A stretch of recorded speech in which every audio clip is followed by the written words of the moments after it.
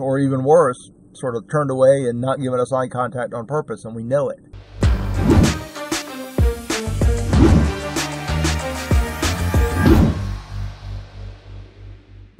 Hey, it's Adam Toporek, customer service expert, author, and speaker, and today I want to talk to you about who is your greeter.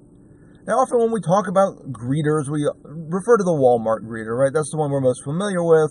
And it was really an innovation back in the day when Walmart first started doing that. Somebody to make a first impression, somebody to be welcoming and welcome somebody into the business, into the store. Now, most of us aren't that big. Most companies don't have a dedicated greeter that only does that. And in fact, Walmart had gotten rid of their greeters for a while and then brought them back. The real issue for us is knowing who in the journey our greeter is. So, from the management perspective, if you're leading teams, if you're leading organizations, if you're in charge of looking at the customer journey, you want to know where are these first impressions? Where in the journey, which touch points are people being quote unquote greeted? And who are those people that are doing the greeting? Because they're going to have other jobs. They're going to have other roles, other responsibilities. They're going to, you know, be in charge of, let's say, if it's a building like behind me, they're going to be in charge of security. So their primary job is making sure whoever gets in, you know, is supposed to be in, and whoever doesn't uh, shouldn't get in doesn't get in. But they're also creating an impression. They're also creating you know the beginning of a journey and setting the tone and setting those first impressions that we talk about for whatever comes next. So the next part is if you are actually the person who greets people. If you are part of that customer experience and you are going to be the first impression that your organization makes.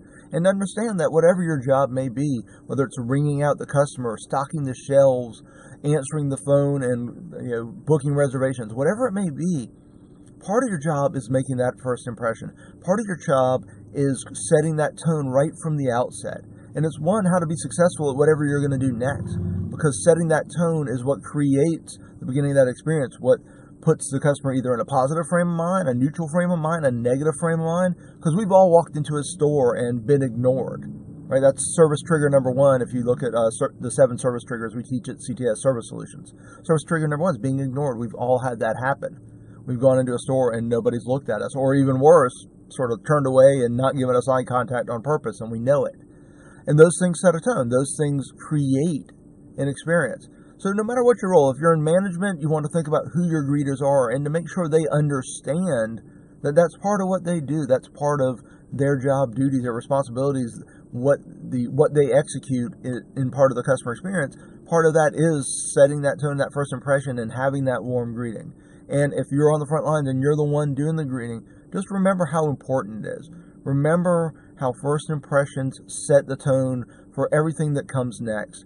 And remember that if you do that well, you're going to have better experiences with your customers and create better experiences for them.